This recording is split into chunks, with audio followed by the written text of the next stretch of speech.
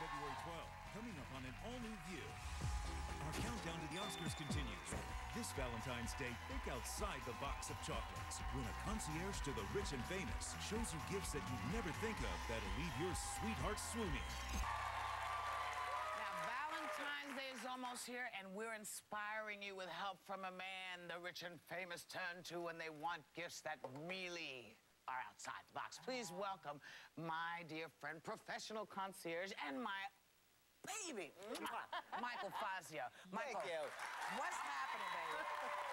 What? Well, okay, well, look, you know, part of my job is to be out there looking for the latest and greatest. Right. And even though I get to deal with some pretty huge budgets, Right. I find that the fun and thoughtful gifts Right. totally trump over the expensive and That's extravagant. right. What is Now, you know, this?